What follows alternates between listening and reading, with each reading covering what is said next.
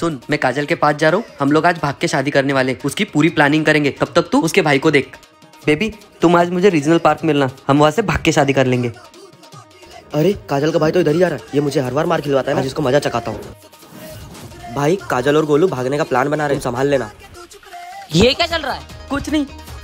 चल छोटी तो सुनो। मेरी बहन भाग गई है। गोलू के दोस्त को पकड़ के लाओ। उसको सब पता होगा। ओ माय गॉड गोलू भैया अपने को ढूंढ लेंगे। तुम्हारा दोस्त सब बता देगा उनको। हाँ सब तो बता देगा पर तुम्हारे भैया सुनेंगे तब ना।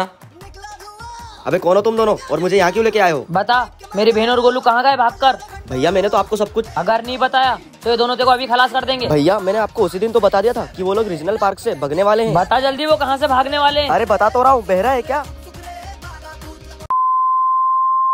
अरे ये बहरा है तुम तो बोल सकते हो ना तुम तो बता सकते हो ना।